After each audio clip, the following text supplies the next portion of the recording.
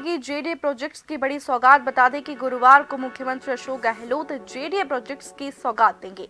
आधा दर्जन प्रोजेक्ट्स का वे लोकार्पण और शिलान्यास करेंगे। जेडीसी डॉक्टर जोगाराम समेत अन्य अधिकारी तैयारियों में जुटे हुए हैं। Gandhi Darshan museum, Ramniwas Bagh, parking, Lakshmi Mandir, underpass, Jawahar circle, सौंदर्यकरण का लोकार्पण होगा। मेट्रो के phase one C, one D और अजमेर रोड बस टर्मिनल का भी शिलान्यास होगा।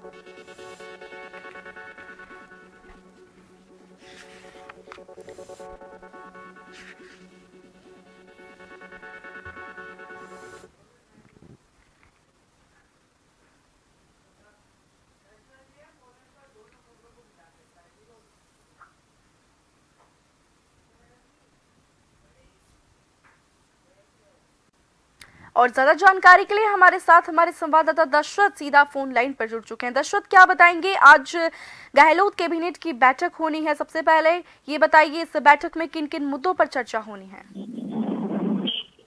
देखिए, गहलोत कैबिनेट की बैठक के समय में बदलाव हुआ है। पहले कैबिनेट